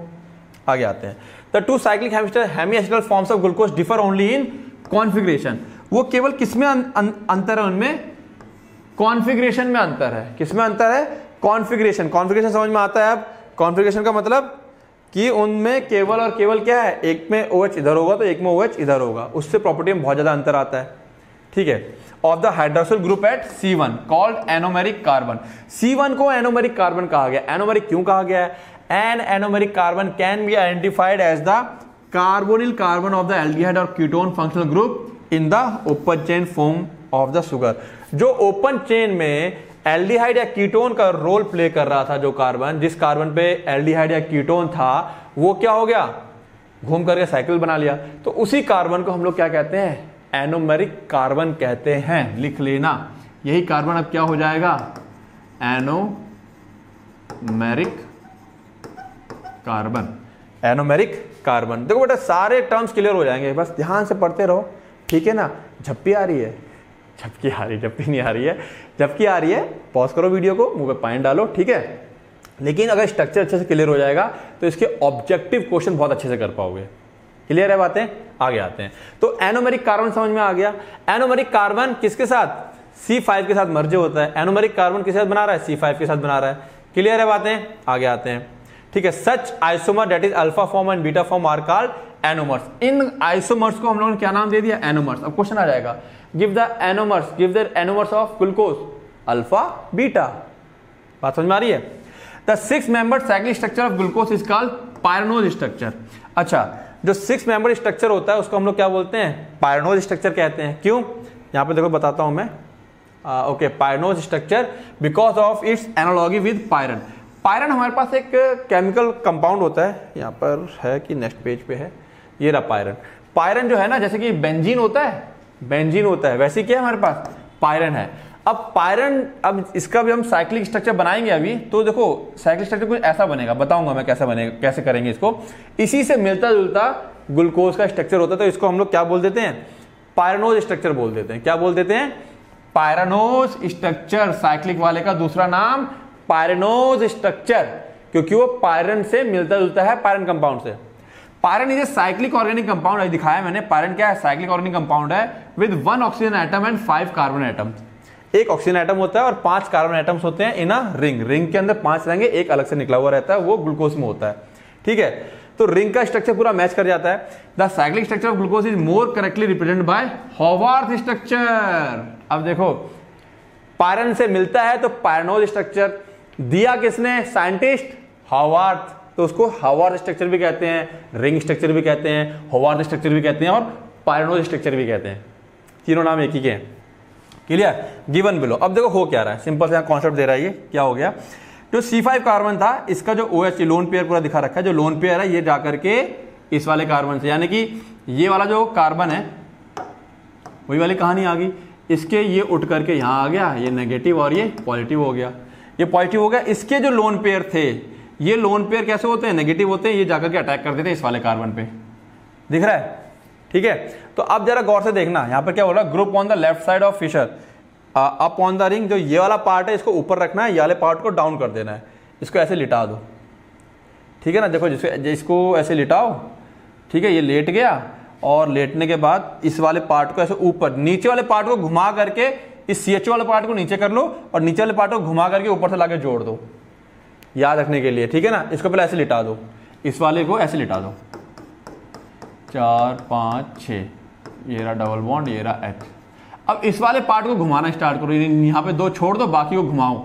इस वाले को फिर यहाँ से इरेज करते चलो, यहाँ से काटो। इसको घुमाओ, फिर इसको घुमाओ, फिर इसको घुमाओ। इस तरह से रिंग बनाने में तुम्हारे लिए आसानी हो जाएगी। ठीक है ना? तो down on the ring up on the ring ये लिखा हुआ है। डी ग्लूकोज फीचर प्रोजेक्शन है ये। अब क्या हुआ है? ये वाला पार्ट उठा के हम ले आए हैं। ये यहाँ चला गया, ये यहाँ अटैक करेगा और फिर जो ये वाला अब यहाँ पे जैसे अटैक करेगा तो देखो क्या हो जाएगा। ये जैसे यहाँ पे बॉन्ड बना लेगा ये। तो अब इस ओ के पास यहाँ पे क्या हो जाएगा? प्लस हो जाएगा। ये इस एच को निकाल करके इसके पास भेज देगा फिर। ठीक है? तो इससे होगा क्या? फाइनली ओ एच यहाँ आ गया और इस तरीके से मेरे पास क्या बन गया? ये स्ट्रक्चर बन गया। बीटा फॉर्म जो बीटा एनोमर होता है, उसमें ध्यान रखना, ये वाला ओ एच और ये वाला ओ एच ऊपर रहेंगे। ठीक है ना? बाद बाकी तो मैंने पूरी रिंग घुमाई दी है। ठीक है? तो यहाँ पर तुमको यही चीज़ ध्यान रखनी है। बीटा में ये ओ OH ऊपर होगा और अल्फ़ा में ये ओ OH नीचे चला जाता है। बाद बाकी पूरा स्ट्रक्चर सेम रहता है। ठीक है beta D glucopyranose hemiacetal of D glucose Haworth projection सब इसी के नाम है। क्लियर है? क्लियर तो देखो यहाँ पे अगर एक याद कर लोगे group on the left side of Fischer projection are facing upward left side वाले इनको ऊपर कर देना है और राइट साइड वालों को डाउन कर देना अपना बन गया स्ट्रक्चर याद करने में बहुत आसान हो जाएगा ये। आगे आते हैं। आ, कह रहा है होवार्थ स्ट्रक्चर देख लेंगे और से अब इसको। तो देखो देखो, पायरन, ये पायरन कंपाउंड है। ग्लूकोज में छह होते हैं तो देखो one two three four five और छठा ऊपर हो गया। तो ये जो स्ट्रक्चर है इतना, ये किसको रिप्रेजेंट कर रहा है? इसको रिप्रेजेंट कर रहा है पायरन को, इसलिए इसका नाम क्या पड़ गया? पायरनोस स्ट्रक्चर क्लियर है? अब मैंने क्या कहा था? जब ये वाला ओ OH और ये वाला ओ OH दोनों ऊपर हो तो ये क्या हो जाएगा? बीटा डी प्लस ग्लूकोज होंगे दोनों D plus D plus D plus है, और जब ये वाला नीचे हो जाए, बस ये वाला नीचे हो जाए तो इसको हम क्या कहते हैं? Alpha D plus glucose. बाद बाकी पूरा स्ट्रक्चर हमारा एज इट इज़ रहेगा। ठीक है? तो याद करना तुम्हारे लिए आसान हो जाएगा। अब यहाँ से तुम कैसे याद कर सकते हो? जैसे मान लो वहाँ पे घुमा लिया, मान लो वो याद नहीं है। तो याद करने का यहाँ पे सबसे अच्छा तरीका यही होता है कि यहाँ पे क्या करो, ऐसे कर लो। क्या बन रहा है? तीसरे वाले कार्बन में पहाड़ बना लो। अच्छा ये ओ एच यहाँ नीचे है, यहाँ नीचे है। अब क्या करना है? ये वाला एच तो ऊपर रहेगा ही रहेगा। अगर ये वाला एच नीचे आया तो अल्फ़ा ऊपर आया तो बीटा। ठीक है? क्लियर है? बात समझ में आ रही है? यहाँ तक बातें क्लियर हैं? अच्छे से एक बार वीडियो को पॉज करें और एक बार दो बार स्ट्रक्चर को बनाने की कोशिश करें मैच करें चीज़ों को, फिर चलते हैं आगे। चलो नेक्स्ट अपना क्या है? फ्रक्टोज अब फ्रक्टोज जैसे कि हम लोग पहले पढ़ चुके हैं, इसमें कि तीनों का मॉलिकुलर फॉर्मूला सेम होता है C six H twelve O six तो फ्रक्टोज का क्या है? आप देखें fructose is an important keto major difference कहाँ आ गया? कीटो यहाँ क्या हुआ है? कीटोन होने वाला है। वहाँ एल्डिहाइड था, यहाँ क्या होगा? कीटोन होगा, हैक्स, छह कार्बन होंगे और ओस सुगर होगा।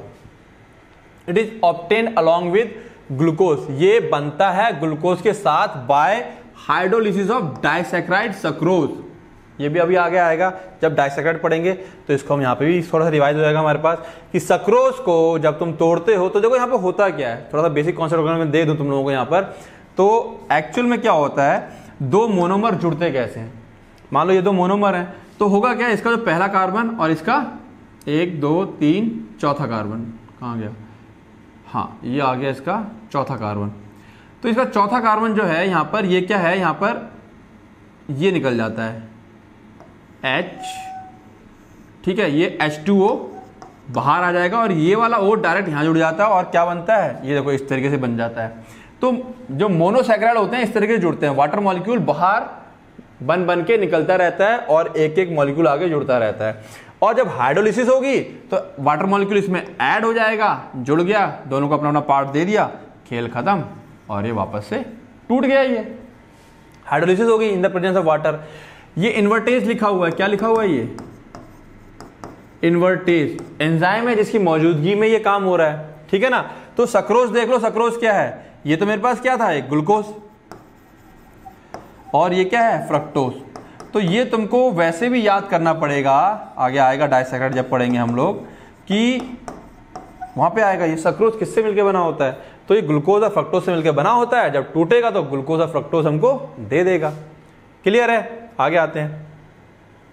क्या बोल रहा है अभी कह रहा है it is natural monosaccharide natural है found in fruits honey and vegetable ये भी फ्रूट्स हनी और वेजिटेबल पाया जाता है। Fructose also has the molecular formula उसका भी मॉलिकुलर फॉर्मुला सेम है and on the basis of its reaction it was found जो रिएक्शन जैसे हमने ग्लूकोज में कराया वैसे जब इसके रिएक्शन कराए तो हमने क्या पाया कि इसके अंदर कीटोनिक फंक्शनल ग्रुप होता है। याद रखना उसमें क्या था? एल्डिहाइड ये क्या है? कीटो हेक्सोस है, वो एल्डो हेक्सोस था। बोलो ketohexose group at carbon number second ठीक है ना? And six carbon in straight chain छह कार्बन होते हैं स्टेट चेन में। As in the case of glucose जैसे कि ग्लूकोज में हमारे पास छह कार्बन थे, इसमें छह कार्बन है। It belongs to D series ये भी क्या है? डी वाला, है ना? डी वाला एक्चुअली क्या है? बहुत ज़्यादा पाया जाता है और डी वालों को हम लोग क्या कर लेते हैं? हमारी बॉडी हजम कर जाती है ज़्यादातर। ठीक है? D series and laevorotatory compound ये लीवो रोटेटरी है। ठीक है ना? लाइट को लेफ़्ट रोटेट कराएगा। It is appropriately return as D minus fructose है ना? यहाँ लिख दू मैं सही से? डी माइनस फ्रक्टोज तो इसको ऐसे लिखेंगे हम लोग। As shown in the figure तो देखो यहाँ पर क्या है? ये कार्बन नंबर वन ये टू ये थ्री ये फोर ये फाइव ये सिक्स दूसरे नंबर पर कीटोन लगा हुआ है और ये जब आगे जाके हम सेम वही पार्ट करेंगे, इसको इससे मर्ज कराएँगे तो दूसरा पांचवा वाला मर्ज हो जाएगा। ठीक है ना? दूसरा पांचवा वाला मर्ज होगा सेम चीज़ें आएँगी। अब इसको समझना आसान हो जाएगा। ठीक है? इट्स ओपन चेन स्ट्रक्चर ये रहा। इसका ओपन चेन स्ट्रक्चर बोल लो फिशर प्रोजेक्शन कह लो, कुछ भी कह लो। क्लियर है?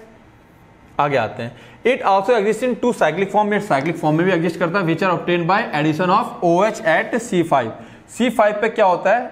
आकर के दूसरे नंबर वाला आकर ऐड हो जाता है। To the carbon group the ring thus form is five member जो रिंग होती है पाँच मेंबर की होती है क्योंकि एक दो तीन हम्म, कहा गया? हाँ एक दो तीन चार और पांचवा आइटम मेरा ओ तो रिंग में कितने होते हैं? टोटल पाँच मेंबर होते हैं and is named as furanose with analogy with compound furan ये देख रहे हो फ्यूरन फ्यूरन केमिकल फॉर्मूला मतलब इसका स्ट्रक्चर कुछ ऐसा होता है, अभी हम इसको बनाएँगे आगे। जब इसको घुमा करके ऐसा बना देंगे ना तो इसका स्ट्रक्चर भी ऐसा ही दिखता है। तो इसको हम लोग फ्यूरानोज स्ट्रक्चर भी बुलाते हैं। पायरानोज ग्लूकोज था, ये क्या है? फ्यूरानोज है। Furan is a five member cyclic compound furan जो होता है फाइव मेंबर साइक्लिक कंपाउंड है with one oxygen and four carbon atom एक ऑक्सीजन होता है चार कार्बन एटम होते हैं। तो क्लियर हुई बात? अब यहाँ पे देखो, बात समझ में रखो। जिस कार्बन पे क्या लगा हुआ था? दूसरे नंबर पे क्या लगा हुआ था? वो लगा हुआ था? तो इसको हम लोग क्या कहेंगे? एनोमर कहेंगे। क्या कहेंगे इसको? एनोमर कहेंगे। बात समझ में आ रही है? This is the anomer.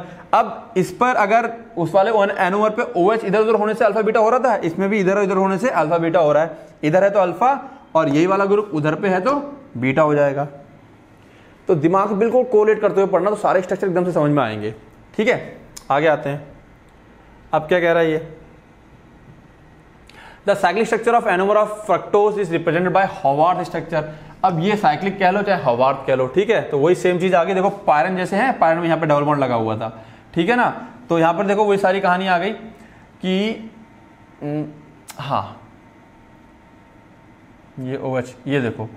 आ, हम यहाँ पे कह सकते हैं ये वाला ओ OH और ये वाला ओ OH जब दोनों ऊपर हैं तो ये क्या है? बीटा है। और जब नीचे वाला पार्ट ऊपर चला गया तो क्या हो जाएगा? अल्फ़ा सेम वैसे याद रखेंगे। बाद बाकी पूरा स्ट्रक्चर अपना सेम ही है। ठीक है ना? तो एक ओ OH ऊपर, एक ओ OH नीचे। और बाद बाकी अपना स्ट्रक्चर याद रखेंगे। वन ये चला गया। वन यहाँ से स्टार्ट करेंगे। Two three four five and six clear है?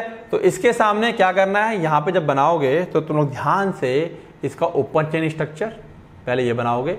फिर इसको मर्ज कराने की कोशिश करोगे। अच्छा ये ऐसे मर्ज हो रहा है। ठीक है? और फिर उसके बाद ध्यान से, और फिर उसके बाद इसका ये वाला स्ट्रक्चर बनाओगे। एक साथ, पहले स्ट्रेट फिर घुमा के, फिर ये बना लोगे। तीनों सामने रहेंगे नंबरिंग कर लोगे। One two three four five किससे किसको मिला रहे हैं? कौन सा एनोमेरिक कार्बन है? अल्फ़ा बीटा की क्या निशानी है? अब वो कह देगा draw the structure of beta D fructo fructofuranose तो बीटा डी में याला ओ ऊपर रहेगा। है ना? बीटा में ओ ऊपर रहता है। तो बस वही कहानी यहाँ पे हमें करनी है। क्लियर आगे बात? क्लियर है? तो फ्रक्टोज में बहुत कुछ ज़्यादा नहीं था हमें समझने के लिए। बेसिक सी बातें थी थोड़ी बहुत, जो हमने समझ ली, ये इसका स्ट्रक्चर है। अब आते हैं हम लोग आगे वापस। तीसरे पॉइंट पर डेट इज़ गैलेक्टोज तो गैलेक्टोज क्या है? Galactose is six carbon monosaccharide ये भी क्या है? सिक्स कार्बन मोनोसेक्राइड फॉर्मुला सबका सेम ही था, जैसे मैंने बताया था C six H twelve O six clear है? Isolated from the first time by Louis Pasteur पहली बार लुइस पास्चर ने इसको अलग किया था 1855 में, किससे? दूध से मिल्क से। Therefore from the Greek galactose Greek में गैलेक्टोज का मतलब क्या होता है? मिल्क होता है, दूध। ठीक है ना? Followed by the suffix of sugar ose तो नाम क्या पड़ गया? इस गैलेक्टोसिस का नाम क्या पड़ा? गैलेक्टोज है ना? गैलेक्टोज अब दिमाग में रहेगा अच्छा मिल्क में क्या पाया जाता है? गैलेक्टोज पाया जाता है। ठीक है? अरे हंस दो। कोई नहीं धीरे धीरे याद हो जाएगा। ठीक है? परेशान नहीं होना बिल्कुल भी, लेकिन समझना पड़ेगा बच्चों अभी। ठीक है? The molecular formula of galactose this हमको पता ही है galactose is a monosaccharide and epimer of glucose epimer का मतलब क्या होता है? एपीमर एपीमर का मतलब डिफाइन कर दिया। Epimer are the carbohydrate which vary in one position और the placement of the O group मतलब जिनकी केवल एक ओ ग्रुप मतलब किसी एक कार्बन पे ओ अगर अलग अलग हो जाए तो वो देखने में तो एक जैसे मतलब इस मॉलिकुलर फॉर्मुला तो यही रहेगा, लेकिन प्रॉपर्टी बदल जाती है। देखो यहाँ पे मैंने कंपेयर कर रखा है। अब यहाँ पे तुम्हें करना क्या है बच्चों मैं तुम्हें बता दूँ। जैसे ग्लूकोज है ये ग्लूकोज का स्ट्रक्चर याद है? मैंने ऐसे करवाया था। याद आ गया होगा कुछ लोगों को है ना? ऐसे करवाया था? आ, सर करवाया था ऐसे। ठीक है ये ओ OH ऐसे हैं। गैलेक्टोज में देखो क्या हो गया। ये carbon number one two three four five and six जो पहले वाला का पहला पहला पहला हाँ ठीक है। ये चौथा वाला सॉरी कौन सा वाला? एक दो तीन ये चौथा वाला जो ओ OH है ये पलट गया ऐसे ये लेफ़्ट राइट में था, ये कहाँ आ गया? लेफ़्ट में आ गया। तो ये चौथे कार्बन का घूम जाने की वजह से इसकी पूरी प्रॉपर्टी क्या होती है? बदल जाती है। घूम जाने का मतलब मैंने बताया ना कि जैसे मेरे दो हाथ इधर लगे हुए हैं और ये हाथ को उखाड़ के मैं इसी के साथ लगा दूँ तो दो हाथ मेरे एक साथ काम करेंगे। ठीक है? ऐसा पॉसिबल नहीं है। ठीक है? तो इसीलिए यहाँ पर क्या हो गया है कि एक पोजिशन बदलने की वजह से इसकी पूरी प्रॉपर्टी बदल गई गैलेक्टोज की। तो यहाँ ध्यान रखेंगे गैलेक्टोज और glucose ditto ditto ditto same केवल कहाँ अंतर है? कार्बन नंबर फोर पे। कार्बन नंबर फोर पे। क्लियर है? आगे आते हैं। क्या बोल रहा है ये? क्या कह रहा है ये? Like all aldohexose galactose has two enantiomer इसके भी दो एनेंशियोमर होते हैं। डी और एल फॉर्म होती है इसकी। D galactose and L galactose the latter latter मतलब बाद वाला। यहाँ पे लेटर मतलब बाद वाला। तो बाद वाला भैया यहाँ पर कौन है? एल गैलेक्टोज ठीक है? Is not naturally occurring in higher organism जो बड़े ऑर्गेनिज्म है, जैसे हम लोग हैं जानवर बड़े बड़े, उनमें नहीं पाया जाता है as it can not be further metabolise इसको आगे हम तोड़ नहीं पाते, हमारी बॉडी इसको कंज्यूम नहीं कर पाती सही से, तोड़ नहीं पाएगी मेटाबोलाइज नहीं कर पाएगी. There the term galactose will be use to indicate D galactose इसलिए ध्यान रखना, जब भी हम गैलेक्टोज का इस्तेमाल करेंगे तो किसके लिए इस्तेमाल करेंगे? डी गैलेक्टोज के लिए इस्तेमाल करेंगे. किसके लिए इस्तेमाल करेंगे? डी गैलेक्टोज के लिए. तो देखो यहाँ पर सीधा सीधा कॉन्सेप्ट है हमारे पास. तो अब अगर ये समझ में आ गया है तो देखो जरा यहाँ पर. ये डी गैलेक्टोज यहाँ पर क्या है? एक, दो, तीन, चार। ठीक है ना? तो ये आ गया, ये एल गलेक्टोज हो गया यहाँ पर।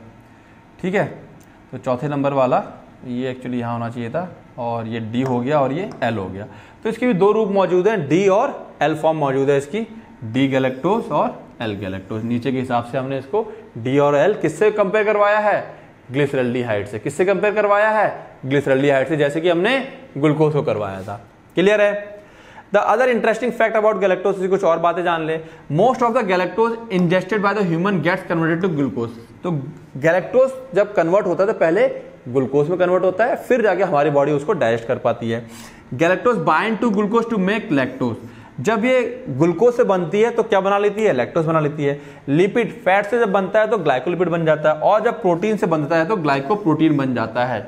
इसका इस्तेमाल हम लोग करेंगे इन्हीं में आगे, ये जो सब बातें बता रहा हूँ, ये सब बातें कहीं ना कहीं जुड़ेंगी आकर के आगे। हम जब आगे और बायोकेमिस्ट्री डिटेल में पढ़ेंगे तो बहुत सारी बातें यहाँ जुड़ने वाली हैं। तो बिल्कुल ध्यान रखें लेक्चर को बड़े कायदे से देखते चलें। ग्लाइकोप्रोटीन्स क्या हैं? ग्लाइकोलिपिड्स क्या होते हैं? तो सिंपल सा कॉन्सेप्ट क्या होगा गैलेक्टोज किससे जुड़ रहा है? उसके हिसाब से हमारा कॉम्पोनेंट बन जाता है। Galactose can exist in open chain Fischer projection as well as cyclic form इसके भी ओपन और साइक्लिक दो रूप मौजूद है, वो लगभग लगभग सेम ही हो गए। ठीक है? तो देखते हैं क्या है यहाँ पर हमारे पास last finally the open chain form has a carbon group at one end of the chain which makes it an aldehyde derivative therefore it is an aldohexose and reducing sugar ठीक है, कह रहा है ओपन चेन में एक तरफ़ हम लोग देख चुके हैं। ओपन चेन में एक तरफ़ क्या है हमारे पास? एल्डिहाइड ग्रुप है ना? ये रहा एल्डिहाइड ग्रुप तो इसकी वजह से क्या हो गया? कि ये एल्डिहाइड का डेरिवेटिव हो गया है एल्डोहेक्सिस बोलेंगे और ये रिड्यूसिंग शुगर है ना? रिड्यूसिंग शुगर कौन होती है? पढ़ चुके हैं हम लोग, जो टॉलेंस और फैलिंग सॉल्यूशन को रिड्यूस कर देती है, उनको रिड्यूसिंग शुगर कहते हैं। तो only cyclic form found in mammal is the pyranose form छह स्ट्रक्चर है तो पायरन को रिप्रेजेंट करेगा। तो मैमल में जो पाया जाता है, वो पायरनोस फॉर्म पाई जाती है which is epimer of glucose epimer का मतलब हमें पता चल चुका है। As it differ only by the configuration of hydroxyl group at group on the C four अभी हमने देखा था कि क्या अंतर है एपीमर वाले में, कि ग्लूकोज और इसमें कितना अंतर है, केवल सी फोर पे जो पोजीशन है, वो अलग है केवल। सी फोर वाली पोजीशन केवल क्या है? अलग है। The furanose form is found in many lower जो इसका फ्यूरोनस फॉर्म है। अब देखो, इसके दोनों फॉर्म है। ग्लूकोज का केवल पायरनोज था। गैलेक्टोज का पायरनोज और फ्यूरोनोस दोनों फॉर्म पाए जाएँगे। देखेंगे, अभी स्टडी करेंगे। ठीक है, जो फ्यूरोनस फॉर्म है, वो लोअर ऑर्गेनिज्म लोअर मतलब जैसे कि प्रोकारियोट्स हैं यूकारियोट्स हैं such as bacteria green algae fungi protozoa ठीक है ना? इन सब में पाया जाता है। तो और एक क्या चीज़ है? Furanose form is also found in pathogenic species यानी कि जो प्रजातियाँ, बीमारी फैलाती हैं हमारे शरीर में, उनके अंदर भी फ्यूरोनोस की फॉर्म पाई जाती है। Where it may play important role for example for survival ये फिरोनोस की जो फॉर्म पाई जाती है ना, इसकी गैलेक्टोज की लोअर ऑर्गेनिज्म में, जैसे बैक्टीरिया वगैरह के अंदर है, जो उनके जीने में मदद करती है। ठीक है? While its biosynthetic pathway may be a target अब ये फिरोनोस बनता कैसे है? बैक्टीरिया के अंदर। हम उसको स्टडी करते हैं। और उसी को टारगेट करते हैं कि यार, ये बैक्टीरिया में के ज़िंदा रहने के लिए ज़रूरी है, हम दवाई ऐसी बनाएँगे कि इसका बनेगा ही नहीं है गैलेक्टोज ही नहीं बनेगा इसका। बात समझ में आ रही है? तो बायोसिंथेटिक पाथ से किस तरह से बैक्टीरिया के अंदर बन रहा है, हम उसको टारगेट करते हैं for the development of new drug to treat infection cause by the pathogen ठीक है ना? हम इसके बनने की प्रोसेस को टारगेट कर लेते हैं कि ये ऐसे बनता है ड्रग ऐसी होगी जो इसको बनने नहीं देगी और हम उसको क्या कर देंगे? किल कर देंगे। अब यहाँ पे देखो ग्लूकोज गैलेक्टोज का स्ट्रक्चर मैंने उस तरीके समझा दिया। तो बात समझ में आ गई होगी this is one two three and four तो फोर वाले में ये ओ OH जो ऊपर था, इसमें क्या हो गया ये? मतलब इसमें नीचे है तो इसमें क्या आ गया? ऊपर आ गया ये। तो इस तरीके से कंपेरेटिव ग्लूकोज और गैलेक्टोज अभी मैं बताऊँगा, तीनों स्ट्रक्चर को ग्लूकोज फ्रक्टोज गैलेक्टोज तीनों को ओपन वाला एक साथ लिखेंगे, फिर क्लोज वाला एक साथ लिखेंगे। ठीक है ना? लिख करके तुम लोग प्रैक्टिस करनी है तुम लोगों को। ठीक है? अब कह रहा है in cyclic form it has four stereoisomer इसके चार स्टीरियो आइसोमर है। क्यों? क्योंकि इसका पायरनोज और फिरोनोज दोनों फॉर्म अवेलेबल हैं। तो दो पायरनोज की होंगी अल्फ़ा बीटा वाली, और दो फिरोनोज की होंगी। In the cyclic form galactose exist as four stereoisomers to have five member ring consisting of oxygen atom and four carbon atom, namely furanose ring, and two have six member ring consisting of one oxygen atom and five carbon atom namely pyranose ring तो वही बात repeat कर दी, इसके दो रूप पाए जाते हैं। पायरनोज के दो फॉर्म होंगे अल्फ़ा बीटा और फिरोनोज के दो फॉर्म होंगे alpha beta in solution solution में pyranose and furanose form are in equilibrium solution के अंदर सब आपस में इक्विलिब्रियम सब एग्जिस्ट करते हैं एक साथ इक्विलिब्रियम में रहते हैं। With the open chain form किसके साथ रहेंगे इक्विलिब्रियम में? ओपन चेन के साथ। But since the pyranose form is less stable जो फिरोनोस फॉर्म होती है, इसकी वो लेस स्टेबल होती है देन द पायरनोस फॉर्म से ये मार्क क्वेश्चन मार्क कर लेना। The equilibrium is strongly shift towards the latter तो वो इक्विलिब्रियम कहाँ शिफ्ट हो जाएगा? जो ज़्यादा स्टेबल है, उसकी तरफ़ चला जाता है इक्विलिब्रियम तो ध्यान रखना furanose form is less stable than the pyranose form clear है? तो देखो जरा यहाँ पर, ये ओपन चेन स्ट्रक्चर है। जब ठीक है, ये वाला कार्बन आकर से जुड़ेगा तो क्या बना?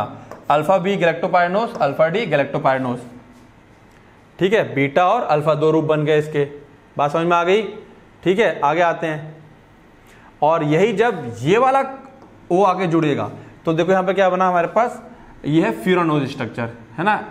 एक, दो, तीन, चार और पाँच। पाँच स्ट्रक्चर वाला क्या कहलाता है? फिरोनोज स्ट्रक्चर तो ध्यान रखना, इस वाले को जोड़ोगे तो कायदे से यहाँ जोड़ लेना इस तरीके से और इसको रिंग को घुमा लोगे। तो ओ तो यहाँ ऊपर हो गया, फिर ओ एच आ गया अपना देन ओ एच आ गया।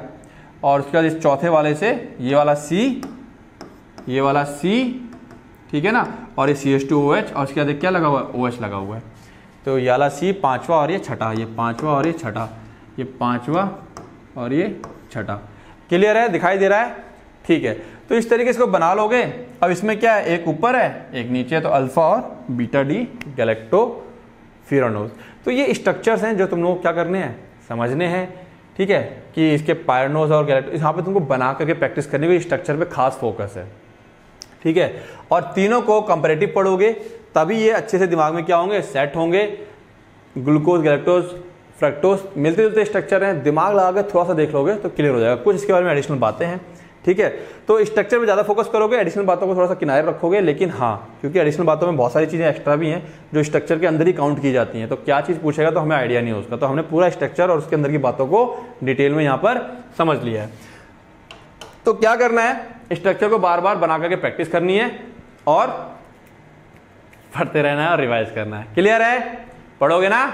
Good all the best